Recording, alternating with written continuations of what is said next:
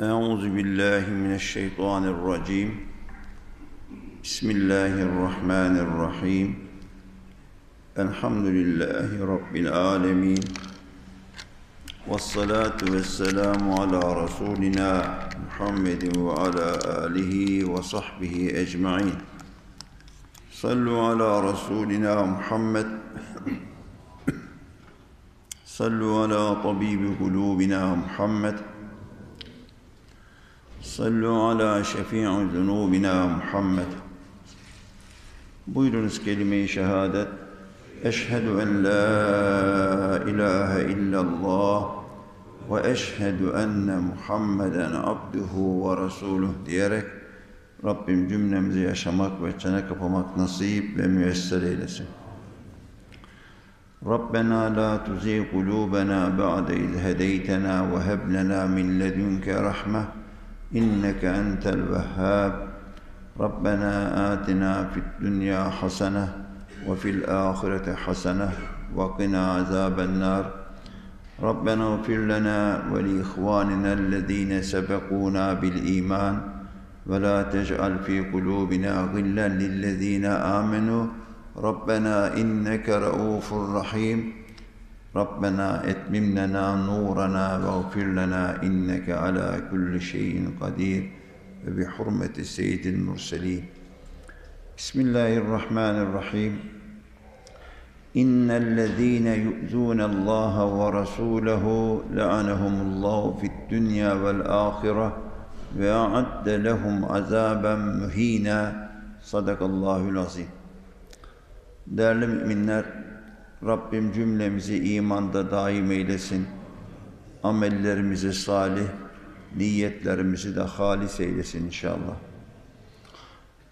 Bugünkü dersimizde Kur'an-ı Kerim'de hitaplar özellikle Peygamber Efendimiz'e nasıl hitap edildiğini ait bazı ayet-i kerimeleri sizlerle paylaşmak istiyorum ki müminlere peygamberimize karşı takınmaları gereken edep, nezaket, tavır ve sevginin yüceliğini öğretecek olan bu konuya şu ayeti kerime ile başlamak istiyorum.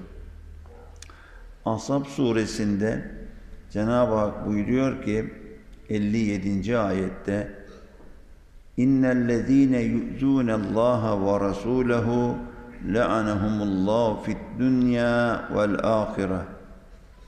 Şüphesiz Allah ve Resulüne eziyet edenler yani incitenlere Allah dünyada ve ahirette lanet etmiştir ve a'adde lehum azaben mühina onlar için alçaltıcı da rezil edici bir azap hazırlamıştır buyurmaktadır.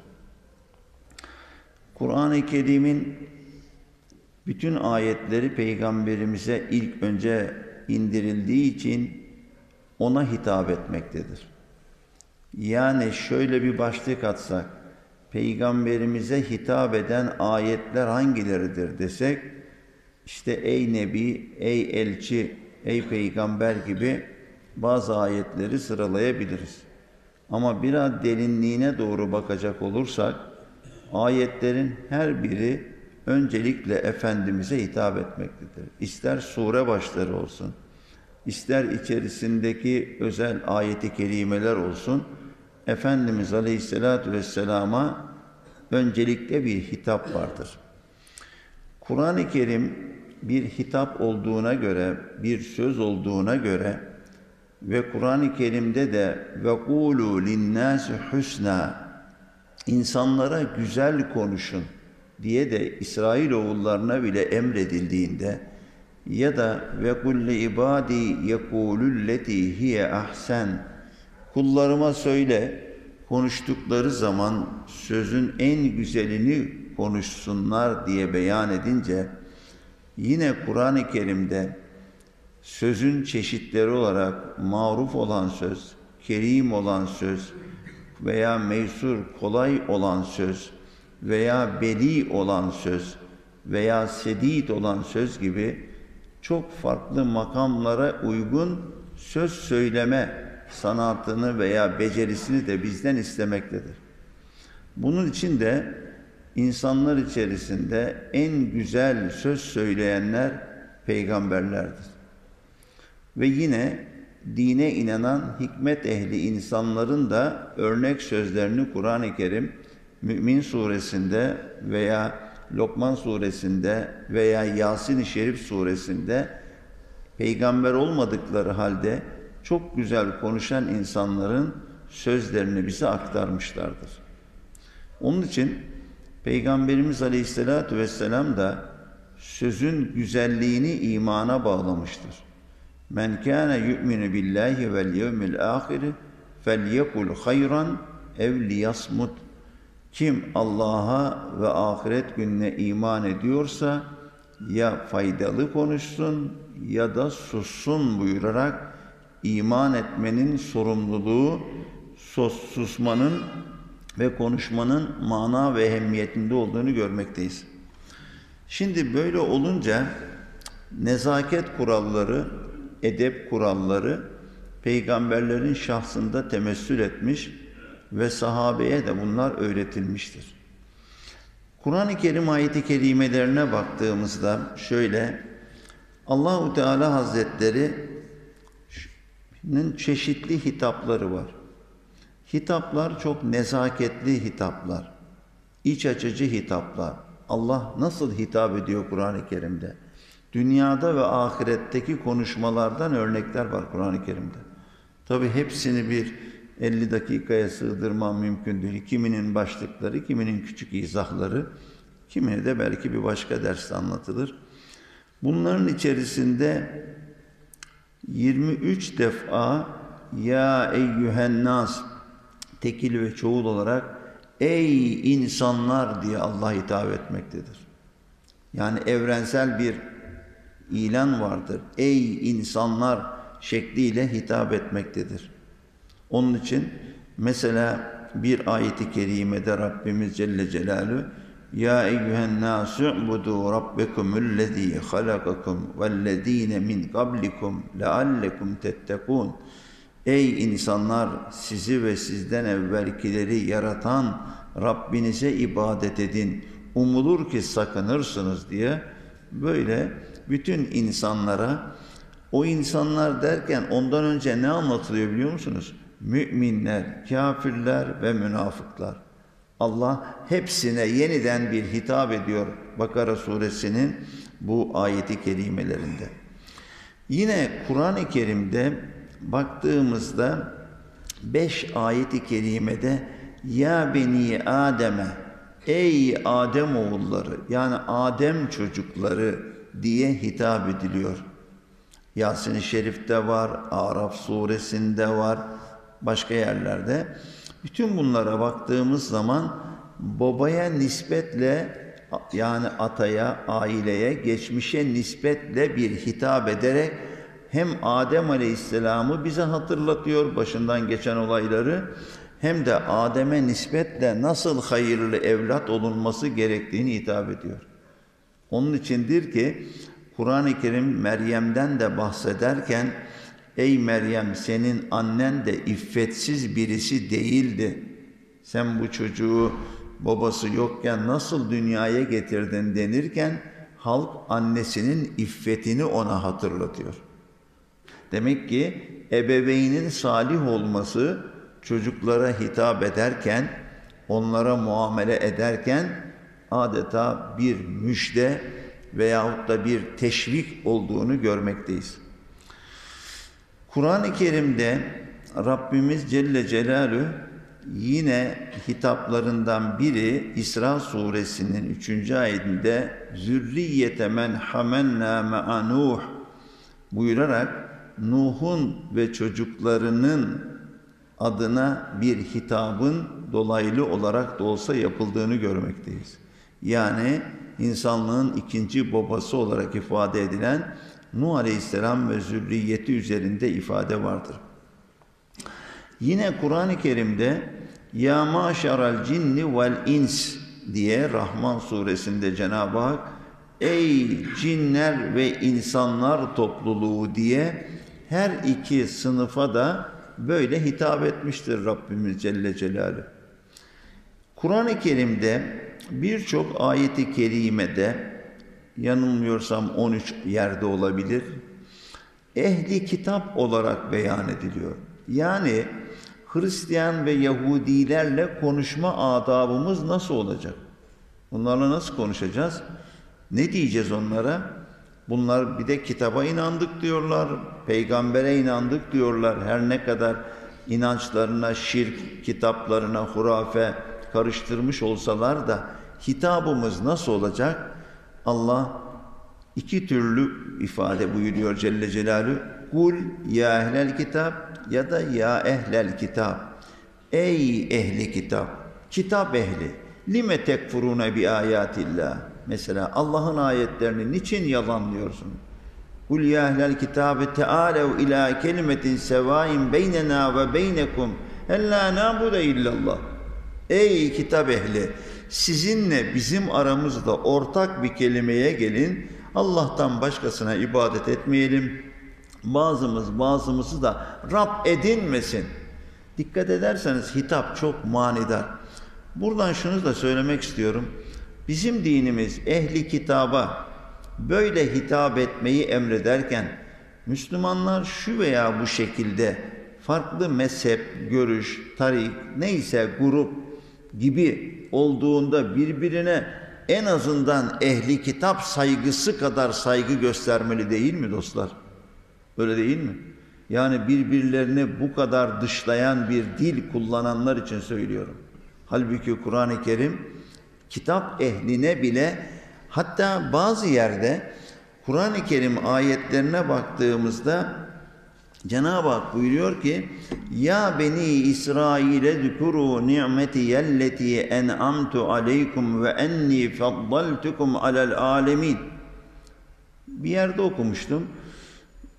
İsrail Sina çölünü oraları işgal ettiğinde bu ayeti yazmış oralara. Bu ayeti koymuş kendini savunmak için. Ne var ayette?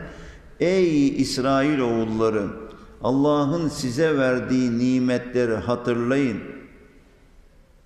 Ya beni İsrail'e zükürû ni'meti yelleti en'amtu aleykum ve enni faddaltukum alel alemin. Ben size alemlere üstün kıldım diyor.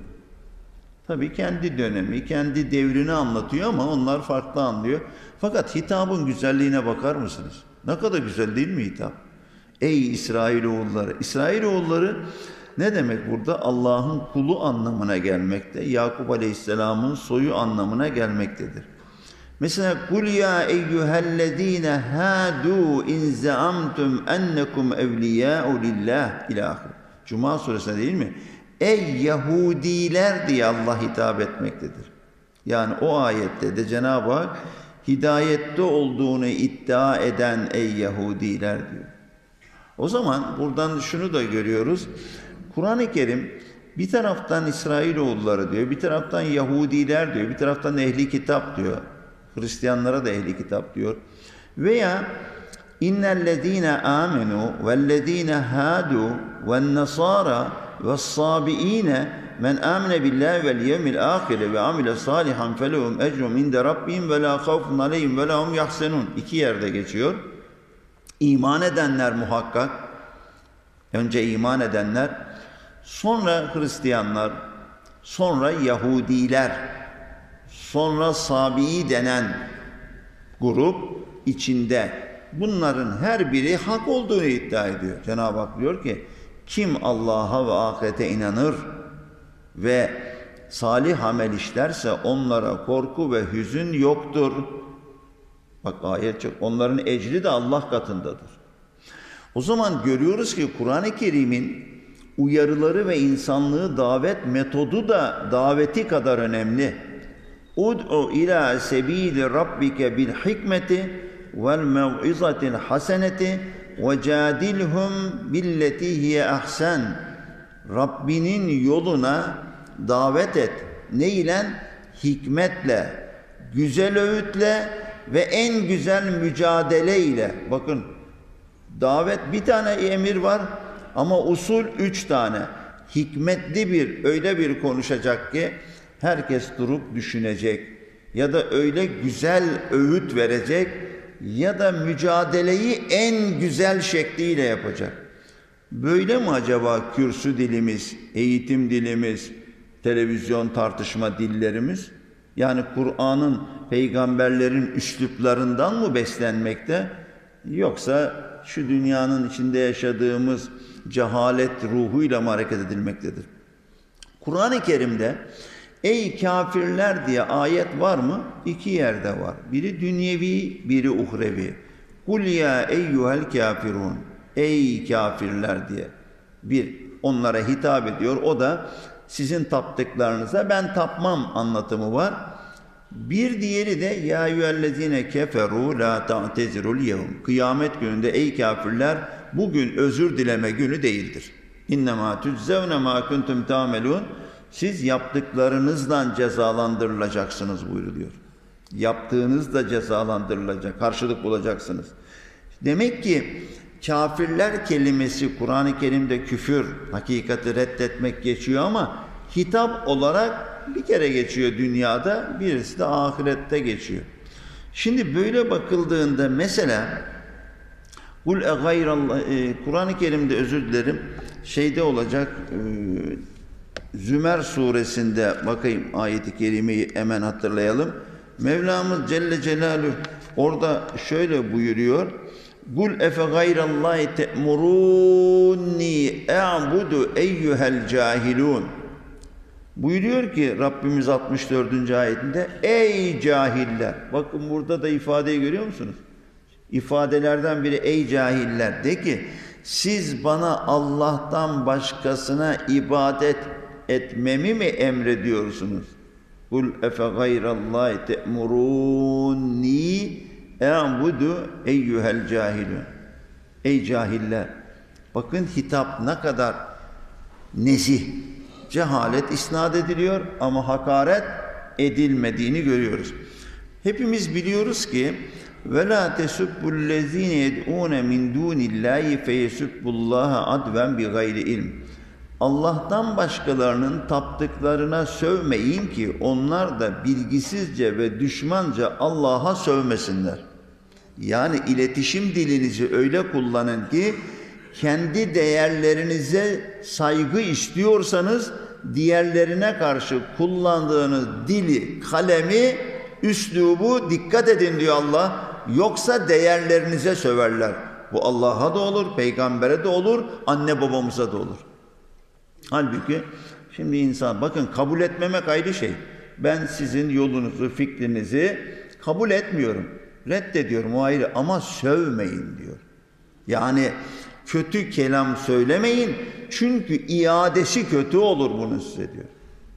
Ama bugün İslami denen bazı gazete yazımız, bazı sözümüz gavurlar zaten yapar, gavurdur dersin ama bizden birisi yapınca kötü örnekleri de burada tek tek sayıp birilerinin ismini ortaya koymak istemiyorum. Kur'an-ı Kerim'de Vemtazul yevme eyyuhel mücrimun Ey mücrimler buyuruyor Cenab-ı Hak. Ayrılın bakalım diyor. Ne zaman? Kıyamet gününde. Cürüm sahibi yani suçlu olanlara hitap ediliyor. Yine sümme innekum eyyuhad dallunel mükezzibun. Ey yolunu şaşıran ve yalancılar diye Cenab-ı Hak buyuruyor ki sonra siz de ey yol şaşıran ve yalan söyleyenler siz de toplanacaksınız o gün diye böyle hitap etmektedir. Şimdi konumuza doğru gelecek olursak dedik ki baştan ey insanlar diye hitap edildiği ayetler var dedik veyahut da işte ey Adem oğulları diye hitaplar var. Kur'an-ı Kerim'de peygamberimize yapılan hitaplara gelince peygamberimize nasıl saygı gösteriliyor, öğretiliyor. Bu konudaki ayetlere gelince bunları siz hepiniz biliyorsunuz. Değerli hocalarımızdan defalarca dinlemişsinizdir ama hadislerle ilgili ders yaptığımız için peygamberimize saygı ne kadar yüksekse hadislerine de saygı o kadar yüksek olmalıdır. Hadis alimlerinin hayat hikayeleri anlatılırken ayaküstü hadis okumadıklarını görüyoruz. Yani hadis okumak için e, guslünü, abdestini almış, elbisesini düzgün giymiş, kokusunu sürünmüş, uygun bir yerde oturmuş, peygamber sözünü öyle söylüyorlar. Ayaküstü söylemiyorlar. O söze saygılı olmayanlarla da aralarına mesafe koyuyorlar. Mesela Efendimiz Aleyhisselatü Vesselam kuş lastikle atış yapan birine böyle yapma demiş. Onu da bir sahabi bir başka kişiyi de görüyor, atış yapıyor kuş lastikten taş atıyor. Atma diyor, o devam ediyor. Ben peygamberimizden böyle duydum. Eğer sana bu hadisi söyledim, bunu yerine getirmezsen yani vazgeçmezsen bu amelden seninle görüşmem bir daha diyor. Ben sana hadis okuyorum, sen diyor hiç ciddiye almıyorsun diyor. Efendimiz Aleyhisselatü Vesselam komşu, komşuya yardımcı olma konusunda hadisler söylüyor. Bir tanesinde de komşunun bir kirişini sizin duvarınızın üzerine koymasını istese müsaade edin buyuruyor. Yani dartacaksa şuraya da ağacın ucunu koyup öteye uzatacak adam. Şimdi sahabeden biri diğerine diyor ki bak komşun böyle bir şey yapmak istiyor. Sen de ona mani oluyorsun. Da istemiyorum diyor. O da diyor ki Peygamberimiz Aleyhisselatü Vesselam izin verdi. Bak haberin olsun o ağacı alır senin omuzuna yaslarım. Değir duvarına diyor. Şimdi buradan baktığımızda şu var. Hadis dendi mi bir bilerek söylenecek. Yani öyle bilgiye sahip olacağız ki ayet de öyle de tabii. İki saygıyla karşılayacağız. Şimdi çok konuşuluyor işte Kur'an, hadis, işte hadisler 3. asırda yazılmış, 250 sene sonra Buhari gelmiş yazmış falan. Yani bunlar artık üzülüyor insan. Bakın şimdi namaz kıldık biz. Kur'an-ı Kerim ayetlerinde namazda yenmez içilmez diye bir ayet var mı? Var mı namazda yenilmez içilmez? Yok. O zaman hem namazını kılsa adam hem suyunu içse. Namazda konuşulmaz diye bir ayet var mı Kur'an-ı Kerim'de? Yok. Namazda şu Ettehiyyatü'yü salli barik ya da Fatiha okuyacaksın veya zamm-ı sure okuyacaksın veya üçüncü, dördüncü rekatta okumayacaksın veya önce ayakta başlayacaksın diye bir ayet var mı? Var mı? Yani bunun sırasını ters yapsak olmaz mı? Düşünün, bütün namazı düşünün. Bırakın başka şeyi. Kur'an-ı Kerim'de çok açık beş sayısı var mı namaz için? Beş kere kılınacak diye. işaretler var. Ama böyle beş rakamı var mı? E yok. Peki cuma namazı İzmir'de biri var tefsir yazmış. Konuşma yapıyor. Diyor ki Allahu Teala cuma günü müminler toplansınlar, zikir yapsınlar diyor diyor. Biz de arkadaşlarla kafede cuma saati toplanıp dini konuşuyoruz. İşte zikir odur diyor. Yoksa namaz değildir diyor. Buyur. 14-15 asırdır gelen cuma. Ayet rahat tefsir yazmış adam. 15 cilt. Şimdi düşünebiliyor musunuz? Hala millet yok efendim bu geçe ama Yunan filozoflarının tam milattan önce yazdıkları eserlere ve kendilerine peygamber demiyor ama sahabeden, müçtehitten daha çok değer veriyor mu onlar vermiyorlar mı? Bir Platon dedi mi adam Aristo, Aristoteles, Sokrat falan, Thales, Males, Allahu Ekber ne bilgili adam. Say bana 11 tane İslam alimi sahabe desen sayabilir mi çoğumuz? sayamaz. Onları onların fikirleri devlet kitabında baksana ne yazıyor, mantık kitabında baksana ne yazıyor.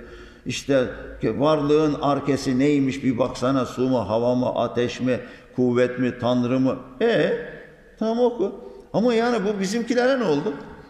Küçümsemek hastalığı var. Onun için şöyle söyleyeyim. E, bütün bunlara baktığımız zaman burada şunu görüyoruz. Peygamberimize mümin ne kadar saygılı ise o kadar değerlidir. Şimdi Tirmizi'nin galiba bir kitabında olacak, yanılmış olabilirim, düzeltiriz sonra. Bir hocamızdan dinlemiştim, daha yeni dinledim. Ee, kulak çınlaması ile ilgili şöyle bir rivayet var Cami-ü Sagir'de. Böyle kulağınız çınladığı zaman ne yapmak lazım? Deniliyor ki birinizin kulağı çınladığında beni hatırlayıp salavat getirsin.'' Allah'ım beni hayırla ananı sen de hayırla an. İşte bu doğru mudur değil midir? Bu tartışılıyor. Yani kulak çınlaması tıbbi olabilir. Başka şey olabilir. Mümin olmayanda da olabilir. Ama öyle ilginç şeyler buyurulmuş ki alimlerden biri diyor ki Peygamberimiz aleyhissalatu vesselam ile onun ruhu ile müminlerin ruhu karşılaştıklarında ruhu ervahta alemlerde o ruhun karşılaştırmasında Efendimizin ona nazar etmesi ya da onu anması ya da onu görmesi sonucunda o kişinin kulağı çınlar. Ve onun için de Efendimiz beni hayırla ananı sen de hayırla an diyerek oradan peygamberimizi anmaya salatü selam getirirler. Biliyorsunuz değil mi bazıları kulağı çınlayınca. Öyle ilginç, daha derin de çok kısa söylüyorum konumuz o değil. Böyle duygular beslerlerken insanlar dinle, peygamberle bağını kurmak için ilk Türk devletini kuranlar onlar ne demişler? Daha 950'lerde Karahanlarda diyorlar ki onların reisi ruhlar aleminde peygamberle görüştü. Mümkün değil. Yani şey anlamıyla kitabi tespit yapamazsınız. Ama orada peygambere bağlılığını anlatan bir devlet anlayışına bir mitoloji, bir hikaye, bir rüya, bir şey arıyor millet. Biz Kur'an, hadis ortada duruyor, başka şeylerle meşgul oluyoruz. Şimdi böyle olunca değerli dostlar, Kur'an-ı Kerim'de Ya eyyühel Resul, Ya eyyühen Nebi diye ayetler var. Kur'an-ı Kerim'de Peygamberimizin ismi dört defa geçmektedir Muhammed olarak. Ahmet olarak da bir defa geçmektedir. Burada şöyle bir şey var. Geçmiş peygamberlerin kıssaları anlatılırken isimleriyle anlatılmış ama peygamberimize Kur'an-ı Kerim'de ey Muhammed diye hiç ayet gelmemiştir. Allah hiç ismiyle onu anmamıştır. Ne ile anmıştır? Resullüğü ve nebiliğiyle anmıştır. Peki diğerleri neden olabilir? Belki o toplumların edep anlayışı zayıftır ya da o olay hikaye edildiği için böyle anlatılmıştır. Yoksa peygamber olmadıklarından Rabbimizin onlara değer vermediğinden değil. Ama burada şunu görüyoruz. Mesela biz vaaz ederken bazen şöyle bir yanılgıya düştüğümüz oluyor. Bu konuda şeyleri getiririm de çok uzuyor bazı. İşte kul in kuntum Allah. De ki ya Muhammed eğer Allah'ı seviyorsanız. Halbuki orada ya Muhammed yok. Var mı? Yok. Tamam kulun bir muhatabı var. O da Efendimiz. Ama ey Habibi Zişanım Resulü Ekrem'im diyor Hülaslı Beyan tercüme ederken. Tamam Yani hoş kelimelerle o kulü doldurmuşlar. Aslında bunu tartışılsın diye söylemiyorum da şu kadarını söyleyeyim. Peygamber kelimesi Farsça haber getiren anlamında ama biz çok sevmişiz o kelimesi canım peygamberimiz diye ifade ediyoruz. Bir şikayet yok. Namaz kelimesi de Farsça. Arapçası salah. Abdest kelimesi de Farsça. Abdest, el suyu demek. Arapçası vudu. Oruç kelimesi de Farsça. Tamam mı? Bizdeki Arapçası savumdur. Ama kültürler birbirlerini etkilemişler Müslüman oldukça. Aslında peygamberimiz kelimesi yerine daha şık, öbürüne bir karşı olduğum anlamda anlaşılmasın. Daha nezi, daha kitabi konuşacaksak, Türkçe söyleyeceksek Allah'ın elçisi şöyle söyledi. Arapça söyleyeceksek Resulullah sallallahu aleyhi ve sellem şöyle söyledi demek daha sevgili geliyor kanaatimce kendime. Neden? Çünkü Allah'ın elçisi derken Allah kelimesi ismi de geçiyor. Resulullah derken Allah'ın elçisi anlamında yine Resul ama kimin Resulü? Allah'ın. Demek ki Resulullah Allah'ın elçisi derken Allah ile birlikte Resulü beraber zikrediyoruz. Peygamber derken sadece bir isim tanıtım oluyor. Ama bunu kullanmayalım, kullananlara ön yargılı olalım. Sakın böyle bir şey anlaşılmasın. Yani fitne çıkartmak istemiyoruz. Bir şeyi anlamaya çalışıyoruz. Kur'an-ı Kerim'de 15'e yakın ayette Peygamber Efendimiz'e böyle hitap edildiği, yanılmıyorsam üç tane surede de ey Nebi, ya eyyühen Nebi, yüttekillah, Ya eyyühen nebiyyü izâ tallaktumun nisa. Ya eyyühen nebiyyü lime tuharrimu ma hallallah.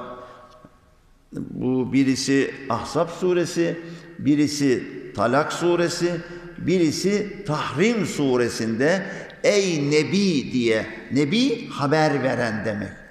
Tabi nebi nedir, resul nedir, birbiriyle eş düşüm anlamları nelerdir? Bunların üzerinde de ayrıca durmak gerekir. Şimdi meseleye böyle baktığımız zaman değerli dostlar şunu görmüş oluyoruz ki Mevlamız Celle Celaluhu Kur'an-ı Kerim'deki ayetlerde neyi beyan ediyor? Demek ki ey Resul, ey Nebi diye hitap ediyor. Şimdi tekrar döneceğim. Bir de Kur'an-ı Kerim'deki hitaplarda 88 yerde ya eyyühellezine amenu denmiş. Allah Allah. Bak peygambere böyle direkt hitap yok. Ama ya eyyühellezine amenu dendi mi onun içine kim de giriyor? Peygamberimiz de giriyor. Peygamberimiz mümin değil mi? Amener Resulü bima unzile ileyhi mir rabbihi ve müminun. Peygamber kendisine indirilene inandı, müminler de inandı. Ne güzel. Bakın amene er Resul. Resul inandı, en sonunda müminler de inandı. Ama tabi imanlarımızın keyfiyeti farklı ama inanacaklarımızın hususiyeti, özelliği aynı oluyor. Kur'an-ı Kerim'de Cenab-ı Hak Ya eyyühellezine amenu diye hitap ediyor 88 yerde. Ya eyyühellezine amenu duhulu fissilmi kâffe. Hepiniz toptan İslam'a girin buyuruyor Cenab-ı Hak değil mi? Topyekün İslam'a, barışa girin. Ya da ya eyyühellezine amenu tubu ilallahi tevbeten nasuha. Ey iman edenler hepiniz efendim ne yapınız? Samimi tevbe ediniz. Orada bir şey düşündüm. Vezeru ma bakiye minel riba in kuntum mu'minin. Ey iman edenler faizden arta kalanı bırakın eğer gerçekten iman ediyorsanız. Bak. Şu görüyor musunuz ayeti Bakara suresinde? Cenab-ı Hak ne buyuruyor? Ey iman edenler Allah'tan korkun. E, faizden arta kalanı bırakın sonunda tekrar iman ediyorsanız. Zannediyorum tefsirin birinde diyor ki eğer imanınız sahihse bırakınız. İmanınız geçerliyse bırakınız. Ya evlezine amenu bir tarafta eğer münafıklara söylemişse imanı anlatıyor. Müminlere söylenmişse şerefi anlatıyor. Herkese söylenmişse Abdullah bin Mesud ya bir emir ya bir nehi var diyor. Ve bu çok önemli bir şey. Yani böyle ey iman edenler dendi mi kuradan, tokiden ev çıkmaya ya da kuradan hat çıkmaya benzemiyor bu iş. Allah hitap ediyor. Ey iman edenler! Buyur ya Rabbi. İnnemel hamru vel meysuru vel ensabu vel ezlamu ritsun min ameli şeytan.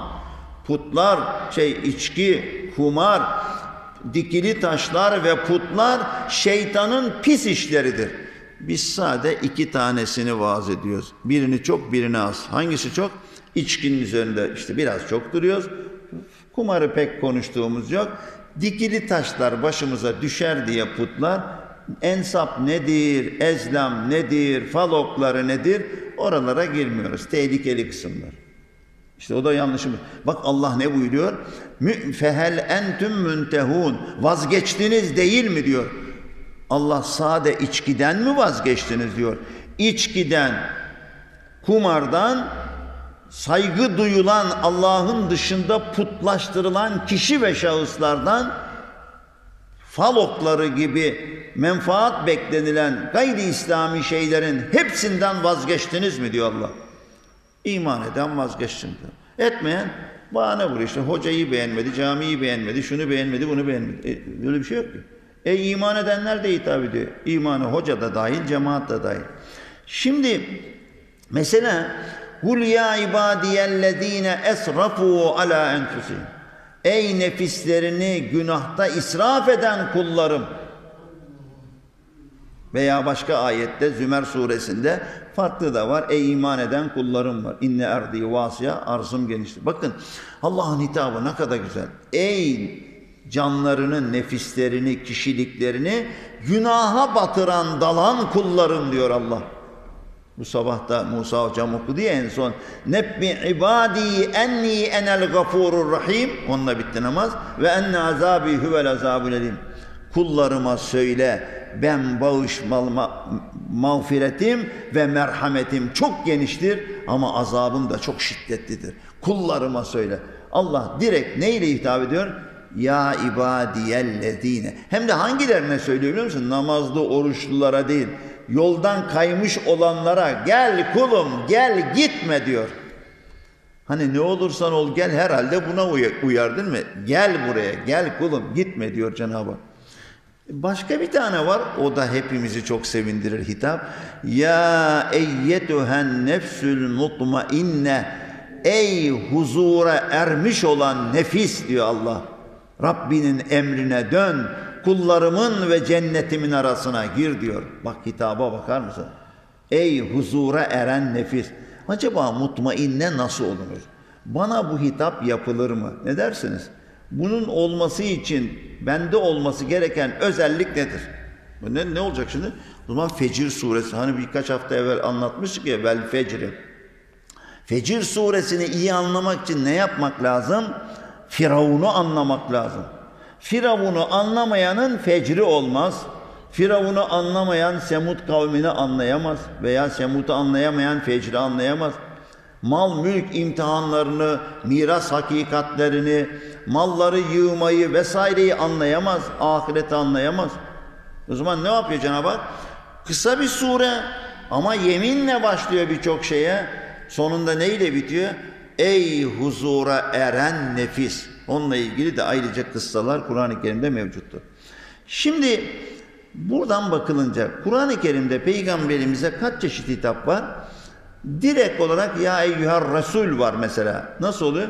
Ya eyyuhar resul belli ma unzile ileyke min rabbik. Ey resul, ey elçi. Yani vazifeli. Hani sayın valim denir. İs, vali beyin ismi söylenmez değil mi toplantılarda? Protokol kuralları öyledir.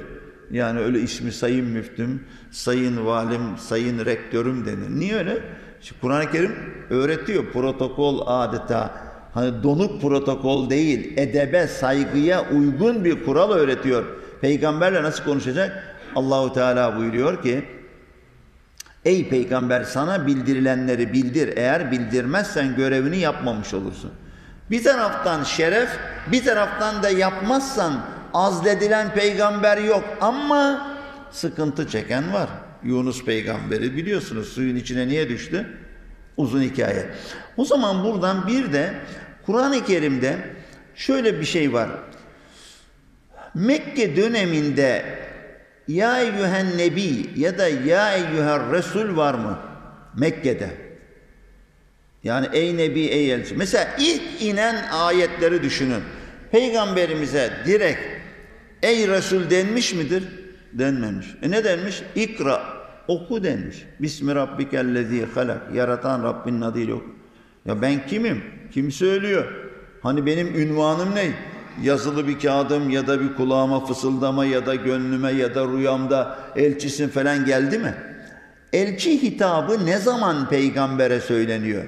Halbuki Nun suresini düşünün. Nun vel kalemi ve ma yasturun. Kaleme ve yazdıklarına yemin olsun ki sen Rabbinin nimeti sayesinde yalancı değil, en yüce ahlak sahibisin. Kesilmeyen ecirler, mükafatlar sana aittir. İyi de kim? Kime söylüyor? Hani ey Resul dedi mi başında yok. Ey Nebi dedi mi yok. Sonra gelenlerde ya eyyuhel müzzemmil kumil leyle illa galila nisfehu evinkus minhu galila evzid aleyhi ve raddilil Kur'ane tertila Ey zemmulü, zemmulüni yani beni zemmulüni beni örtün. Titriyorum ki yeni bir şey tecrübe ediyorum. Dayanamıyorum diye evine gelip kapandığında Allah ey örtünen nebi kalk diyor. E, öyle emir geliyor. Sonra bir sonraki ayet ya eyyuhel müddessir kum fe enzir ve rabbeke fekebbir ve siyâbeke fetahhir ve rucze fehcur ila ahir ayet. Ve la temnun testeksir ve li rabbike fasbir. Onu da söyleyeyim. Burada da Cenab-ı Hak buyuruyor ki ey sarınıp bürünen peygamber ya yüel müddet kum kalk kalk artık yatma zamanı değil. Çok güzel bir şey okumuştum ya da dinlemiştim. Çok harika. Hazreti Hatice annemize diyor ki peygamberimiz bu ayet gelince kalk fe enzir uyar ve rabbeke fekebbir Rabbinin adını yücelt. Anlat insanlara Allah'ın büyüklüğü ne demektir? Ondan daha büyük zatıyla hiçbir şey yoktur. Büyüklük şanı Allah'a aittir. Anlat insanlara. Ve siyabeke fetahhir elbiseni, ahlakını tertemiz eyle. Ve rucuze fehcur kötülüklerden kaç vesaire. Şimdi böyle gelince ayet Efendimiz buyurmuş ki sallallahu aleyhi ve sellem bana artık rahat yok ya Hatice demiş. Artık kalk emir geldi bana rahat yok artık demiş. Buraya kadar tamam. Vefat ederken kızı Fatıma'ya ne demiş? Bugünden sonra babana meşakkat yok. Bilmem bilmeyenler için biliyorsunuzdur da bu iki şey bile bugüne yeter değil mi? Göreve başlarken rahat yok. İş başına, iş zor. Dünyadan ayrılırken de meşakkat, hüzün yok babana diyen bir peygamberin ümmeti olarak biz ne arıyoruz, nerede duruyoruz? Herkes karınca kaderince suçlamıyorum kendine baksın. Öyle değil mi? Biz nasıl bakıyoruz hadiseye orası nasıl bakıyor? Şimdi buradan bakılınca bu şekilde de bir ayeti kerime var. Peygamberimize ya Muhammed denmiş midir? Müslümanlar, sahabe-i kiram böyle pek hitap etmemiş. Ancak İslam'ı bilmeyen ya da bedevi dediğimiz böyle görgü, nezaket kurallarından haberi olmayan tek tük insanlar içinizde Muhammed kim, peygamber kim, ya Muhammed seni Allah mı gönderdi veyahut da dinin nedir gibi sormuşlar. Ama Efendimiz'e böyle hitapta bulunmamışlar. Yani öyle hani asker arkadaşı vari bulunmamışlar. Şimdi onunla ilgili birkaç ayet okuyacağım.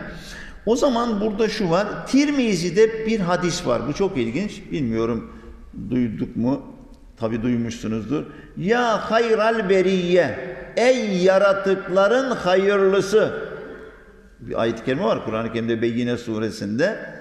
Efendimiz'e bir sahabe gelmiş demiş ki Ey yaratıkların hayırlısı. O da demiş ki o İbrahim Aleyhisselam'dır. Tevazuya bakar mısınız? Bir gün onu çok methetmiş biri. Musa'dan daha hayırlısın demiş. Bilemem ki ben kıyamette kalktığım zaman Musa'yı uyanmış arşın direğini tutarken gördüm demiş. Beni Yunus'tan yüce tutmayın demiş. Aslında yücelik var ama kendisi böyle davranıyor. Şimdi buradan bakınca sahabe-i kiramın da Efendimiz'e hitaplarına baktığımızda tazime ifade eden bir söz olarak anam babam sana feda olsun ya Resulallah. Ana babamızla sana kurban olalım ya Resulallah diyorlar. Bir savaşta bir sahabenin çok başarılı savunma yaptığını gören peygamberimiz de ona anam babam sana feda olsun devam et diyor. Bak demek ki Araplarda bu çok tazim ifade eden bir şey. Anam babam sana feda olsun. Bizde pek o kadar o cümle kullanılmıyor ama sahabe-i kiramın böyle kullandıklarını görüyoruz. Şimdi sonuna gelecek olursak işin. Değerli dostlar, Kur'an-ı Kerim'de bir Hucurat suremiz var. Çok kısaca arz edeceğim. Surede şöyle başlıyor. Bismillahirrahmanirrahim. Ya eyyühellezine amenu tekullah amenu la tukaddimu beyne yedeyillahi ve rasule. Ey iman edenler Allah'ın ve Resulünün önüne geçmeyin. Vettekullah Allah'tan sakının. İnnallah semiyun alim. Muhakkak Allah işitir ve bilir. Önce bakın Allah'a ve Resulüne saygılı olun dedi. E nasıl saygılı olacağız? Bu surede yanılmıyorsam beş tane yâyüllezine amenu var. Bakacağız şimdi beş tane mi? Kaç tane varmış? Beş tane. Bir tanesi peygambere saygıyı gösteriyor. İkincisi günahkar ve fasık insanlarla ilişki ahlakını gösteriyor. Üçüncüsü muhataplarımızla ha, ilk birinci ayet ters söyledim. Birinci ayet Allah'a saygı, ikincisi Resulüne saygı, üçüncüsü münafık şey, fasıklarla ilişki, dördüncüsü ise muhatabımız olan müminlere karşı ahlakı gösteriyor. Beşincisi ise arka sayfada lezine amin içteni bu kesiran minallah yanımızda olmayan gıyaptaki uzaktaki müminlere karşı ahlakımızı gösteriyor. Ne dersiniz? Mesela yan yana olduğumuz müminlerle iyi geçinebiliriz. Ya. Adamın yüzüne bakıyoruz. Cemaatin aleyhine konuşulur mu şimdi? Siz konuşur musunuz hocanın aleyhine orada? Baka baka. O pek yapmayız. Ama ayrıldıktan sonra ahlak nasıl? Görüyor musunuz? Bak beş tane ya evlezine aminu var. Tamam. Şimdi ikinci ayet özetliyorum. La terfe'u asvatekum. Tekrar Cenab-ı Hak. Yani 88 tane ya evlezine aminu olacak Kur'an'da. Beş tanesi bir surede. E ne kaldı geri? 83 tane. Öbür sureler ne olacak? Demek ki burada çok var. Ey iman edenler seslerinizi peygamberin sesinin üzerinde yükseltmeyin. Birbirinize bağırdığınız gibi peygambere yüksek sesle bağırmayın. Yoksa farkında olmadan amelleriniz gider. Buradaki mesele bir söz değildir. Sade ses olsaydı sahabeden birinin sesi çok kaba olduğu için bu ayet inince Efendimizin yanına gelmiyor. Niye diyor Efendimiz gelmiyor? Sesi biraz böyle yüksek çıkan bir insan amellerin boşa gider diye. O onlardan değil diyor Efendimiz. O zaman burada ses sözle beraberdir. Hem sesi hem içindeki incitici, kaba sözü anlaştık. Böyle yapanların ameli boşa gider diyor. Yoksa peygamberle konuşmayın adamın sesi yüksekse onunki de gider denmiyor. Ama bir ses üzerinden anlatıyor. Onun için şöyle bir söz var değil mi? Önce ses vardı, sonra söz vardı. Öyle değil mi? Bebeklerin önce sözü mü var, sesi mi var? Önce sesi var. Ya e, e, e, bir ses çıkıyor, bir nefes var ama söz yok. Söz sonradan oluşuyor. Ebeveynle, çevreyle ilişkiyle oluşuyor. O zaman müminin başka bir ayet var Kur'an'da. Vegdud min savtik inne enkeral esvati le savtul hamir. Yavrum sesini kız yani yükseltme. Seslerin en çirkini eşeklerin sesidir. Çocuk eğitiminde bir Lokman oğluna böyle anlatıyor. Lokman suresi 2. sayfada. Yani gürültü kirliliği olmaması lazım. Müslümanların şehirlerinde. Ama ne bileyim işte ayetler böyle söylüyor da biz neredeyiz? Şimdi değerli dostlar Cenab-ı Hak diyor ki innellezine yeguddune asvatum inde Rasulillah. Allah'ın elçisinin huzurunda seslerini kısanlar bak böyle yanlış konuşmayan, edebi riayet edenler Allah'ın gönüllerini takva ile imtihan ettiği kimselerdir.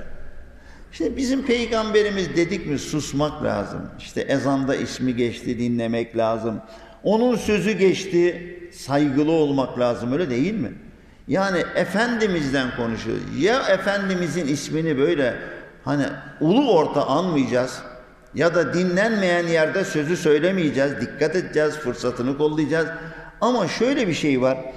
Hani derler ki padişahın zamanında birisi hasta olmuş. O doktora, bu doktora, şu doktora gitmişler de fayda etmemiş. Demişler bir hekim var çok iyi anlıyor. Hekim gelmiş tutmuş nabzını. Bakalım bunda bedende bir şey yok da demiş. Şöyle kalbine doğru bir bakalım. Saymaya başlamış. İstanbul demiş. Nabız normal atıyor. Bağdat demiş normal atıyor. Şam deyince titremeye başlamış nabız biraz. Ee, Şam'da bunun derdi demiş. Sonra da orada isimler saymış. Ee, sevdiği insan orada da onun için demiş. Nabız atıyor. Biz peygamberimizin Allah'ımızın ismini söylerken işittiğimiz zaman acaba hani rahmetli annemizden babamızdan sevdiğimizden bahsederken ki gibi mi oluyor? Adam diyor ki Türkiye'de ona e, onu sevmek milli ibadettir. İsmi anıldığı zaman titremeyen Türk değildir diyor. Buyurun bak bak bak. Halbuki vecilet kulubuhum kalpleri titrer diyor Allah. Öyle demiyor mu? Ve izâ mâ unzilet suretun feminhum men yekûlu eyyukum zâdetu hâzihi imana. Bir sure, bir emir inmeye görsün. Derler ki bundan kimin imanı arttı? Ne oldu bundan derler. فَاَمَّا الَّذ۪ينَ آمَنُوا فَزَادَتْهُمْ اِيمَانًا وَهُمْ يَسْتَبْشِرُونَ وَاَمَّا الَّذ۪ينَ ف۪ي قُلُبِهِمْ مَرَضٌ İman edenlerin imanı artar, onlara müjde vardır. Diğerlerinin de pisliği üzerine pisliği artar diyor Cenab-ı Hak. Bakın o zaman zekerullah, Allah'ın isminin anılması, Peygamberin isminin anılması bizde eğer sevgi, itaat, saygı varsa bizi farklı kılması lazım. Yani böyle öyle değil mi? Mesela şimdi ben askere gittim. Askerlik bizim ülkemizde rejimin rengine göre şekil alıyor. Askerlik Müslümanlıkta o kadar güzel anlatılıyor ki imamlığı bırakıp askerliğe gidesin geliyor. İmamlıkla ilgili, askerlikle ilgili olan kadar hadis, kıssa yok. E, ama cuma namazına gideceğim dedim. Komutan dedi ki gidemezsin. E ne olacak dedim. Gidemezsin. Tabii ben 27 yaşında gittim. 3 ay askerlik yaptım tahsil dolayısıyla. Ne zaman kılacağız dedim. Mesaiden sonra kılacağım dedim. Mesai ne zaman bitiyor komutanım dedim. Tezkere alınca dedim. Dert. Fakat bir komutan geldi bir akşamüstü dedi ki bize Allah hayırlı geceler versin dedi. Aman bir hoşumuza gitti. 83'lerde galiba. Allah dedi ya komutan. Genç 22 yaşında. Ben 27 yaşındayım o 22-23 yaşında yeni teğmen olmuş. Allah hayırlı geceler. Ya ne dindar adam dedim ya çocuğa bak Allah dedi. Ya bir Allah sesini öyle bir yerde duymak insanı mutlu ediyor. Bütün her yerde böyle değil. Bir yerde de bir asker namaza gitmiş cemaate. Karakolun karşısında cami var. Komutan aramış bulamayınca çağırmış. Neredesin sen demiş. Namaza gittim demiş. Bak evladım namaza giderken izin istenmez. Allah çağırıyor. Ama haber ver de biz seni aramayalım işimiz olunca demiş. Öylesi de var, böylesi de var. Benim babam suvari askerlik yapmış. Çavuş. Köylerde mukabele okuyormuş. Bizim rejim Türkiye'de bir ilginç. Herhalde babam 34 doğumlu olduğuna göre. Şimdi 54'lü yılları düşünün. Mukabele, asker hafız diye Adapazarı'nda müftü var değil mi? Askerken burada mukabele okuyormuş. Halbuki bundan 25 sene evvel asker sokakta görse herkes birbirine bakıyordu. Yani o zaman memleketin sade imamlarının, imam hatiplerinin iyi olması değil. Askeri iyi olacak, üniversitesi iyi olacak, iş hayatı iyi olacak, edebiyat hayatı iyi olacak ve dine saygılı olacak. Şimdi neyse sözü uzatmayalım. Ayeti kerimede bakın innellezine yunaduneke min vera'il hucurati ekserum la yaqilun. Ey Muhammed diyorlar ya meallerde. Ne diyeceğiz? Ey Nebi demek daha hoş. Ey Resul. Odaların, evlerin arkasından sana çağıranların çoğu aklı ermeyen kimselerdir. Adam geliyormuş böyle işte arkadan, kapıdan, dışarıdan peygamberimize çağrı yapıyor. Böyle peygambere saygısız hitap edenler akılsızdır diyor Allah. Şimdi akılsızdır denen adam da akıl var da aklını kullanmıyor anlamak lazım. Yoksa akılsız diye deliye akılsız demenin bir anlamı yok. Bakın peygambere saygı aklımızın derecesini gösteriyor. Hadisine saygı, dine saygı, manevi değerlere saygı böyle olmayı gerektiriyor. Bunun için bakın başka bir ayet. La tec'alu dua'er rasulü beynekum ke duai ba'dukum ba'da. Resulün çağrısını aranızda birbirinizin çağrısı gibi görmeyin. Onun için derler ki peygamber çağırdığında namazdaysan bile gel. Bazıları nafiledeysen der ama böyle yorumlar var. Peygamber davet ettiğinde hani kıssa doğru mu bilmiyorum. İftar sofrasında otururken ya Ali niye yemiyorsun demiş Efendimiz. Ezanı bekliyorlar. O da almış hurmayı tam yiyecek. Dur okunmadı. Ya Resulallah tut dersin tutarım ye dersin yerim ben sana bağlıyım demiş. Ya biz sizden dini öğreniyoruz. Ye dersen yerim, bırak dersen bırakırım. Şimdi Efendimiz'e bu sevgi, ona olan bağlılık, onun sünnetine olan tazim, onun hadi ben bir hadis duyduk. Ben hadis otoritesi değilim. Hadis otoritesi ne demek? Hadislerin senetleri, metinleri, çeşitleri en küçük bir ihtimal bile olsa ona ait mi değil mi? Buraya kadar dikkat etmek lazım. Ha benim işim değil ki o ya. Ben ondan anlamam ki. O zaman ne yapmak lazım? Ama cemaatin de çok suçu yok. Kürsüye çıkan istedi işte safer ayı geldi bela ayı geldi diye her saferde artık bıkkınlık verdi. Bir tarafta hocalar saferde bela yoktur diyor. Bir taraftakiler saferde bela vardır. Haydi bugünün ibadet ediyor. E millet de ne yapsın? Toplumsal bir cehalet olunca, gür bir sesle çıkmayınca böyle oluşuyor. Sonuç olarak değerli dostlar, şöyle toparlayacak olursak, demek ki Cenab-ı Hak Kur'an-ı Kerim'de peygamberimize çok saygılı ifadelerde bulunuyor. Baktım ben başka şeyler de var? Mesela Efendimiz'e emir veren ayet var, uyaran ayet var, teselli veren ayet var, hatırlatan ayet var. Efendimiz'i bir anlamda tehdit eder gibi gözüken ayet var. Tavsiye eden ayet var. Bilgilendiren ayet var. O ayetleri onun üzerinden okuyun. Şimdi gelelim bir de böyle edebiyatla meşgul olanların haz alacağı birkaç cümleyi söyleyip bitireyim. Şimdi bizim klasik şiirimizde, şimdi öyle şairimiz pek kalmadı, şiirimizde peygamberimize nasıl hitap etmişler?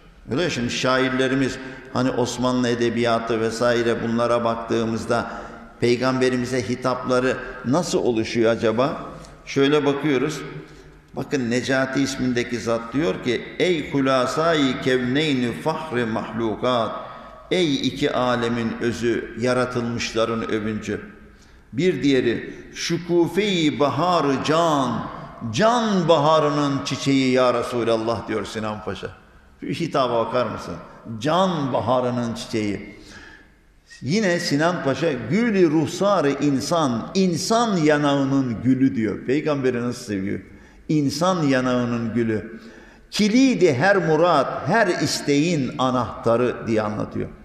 Semere-i şecere-i hikmet, hikmet ağacının meyvası diye anlatıyor Sinan Paşa. Ankayı kafı la mekan, mekansızlık kafının ankası diye anlatıyor.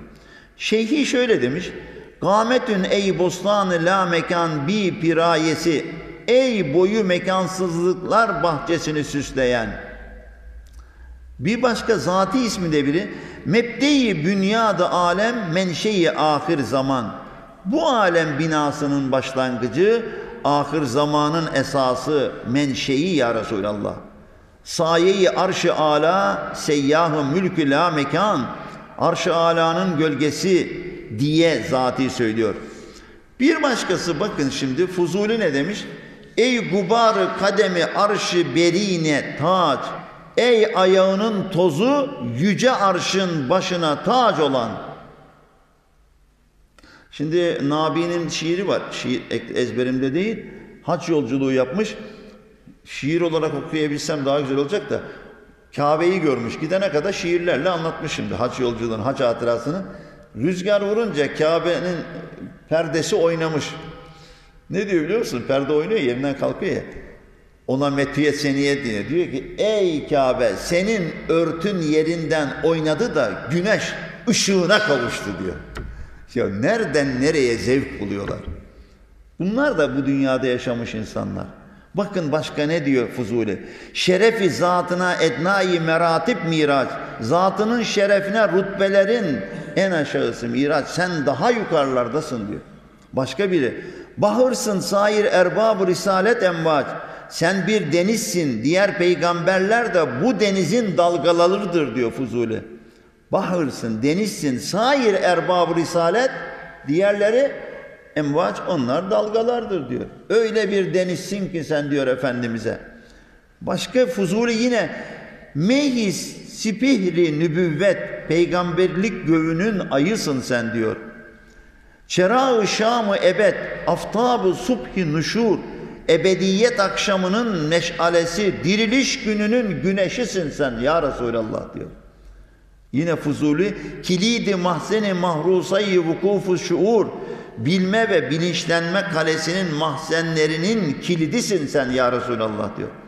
Ey gülü bağı Resul, peygamberler bahçesinin gülüsün sen. Asutanın kehfi mazlumin emanül haifin, Ey eşiği mazlumların ve korkudan emin olmak isteyenlerin sığınağısın. Aşık Çelebi söylüyor.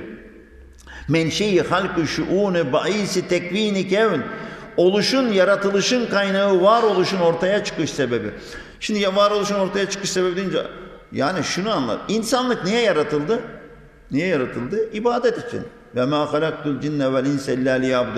İbadeti en özlü kim anlatır? Peygamberler anlatır. En son peygamber kim bu? Peygamber. O zaman peygamberin methedilmesi dinin meti, peygamberin methedilmesi insanlığın yaratılış hikmetini anlatıyor. Bilmem anlatabildim mi? O zaman Aşık Çelebi diyor ki noktayı pergar fıtrat merkezi devri vücut. Yaratılış pergelinin noktası varlık devrinin merkezisin. Allah Allah. Peygamberi yaratılış hani pergelin bir ucu duruyor ya. İşte o uç peygamberdir diyor. Oraya durursan daireyi güzel çizersin. Şekli güzel ama diyor durduğun yer neresi senin pergelinin durduğu yer? Kiminle berabersin diyor. Zübde-i kevne halayiki aslı halku mavutin. Yaratılmışların özü, yaratılışın su ve toprağın aslısın diyor. Zillü hak, makbulü hak, mümtaz halk, hakkın gölgesi, hakkın değerlisi, yaratılmışların seçkinisin diyor. İnna Allah estafa Adem'e. Allah Adem'i seçti de Muhammed Aleyhisselam'ın bir ismi de Mustafa değil mi? Seçilmiş değil mi? O zaman ey penahu adlu dadu merkezi dünya bu din. Ey adaletin ve doğruluğun sığınağı, ey din ve dünyanın merkezi demiştir. Başka? Bihterini evvelunu muhterinil ahirin. Öncekilerin en güzeli, sonrakilerin en yücesi. Bitiriyorum. Şimdi böyle bakınca değerli dostlar, daha çok var da geçeyim. En son gün okuyalım. Sen Ahmedi Mahmudu Muhammedsin efendim. Hak'tan bize sultanı müeyyetsin efendim. Yani sen Ahmet, Mahmud ve Muhammedsin. Sen bize hak tarafından gönderilmiş, doğrulanmış, tasdik edilmiş bir sultansın efendim diyor. Şimdi buna bakınca başka örnekler de var ama vakit bir saat oldu. Efendimiz'i öyle güzel anmışlar ki Tabii ki Efendimiz buyuruyor ki beni met ederken Hristiyanların yaptığı gibi aşırıya gidip de Allah'ın haşa ortağıydı, kuluydu falan böyle olmasın.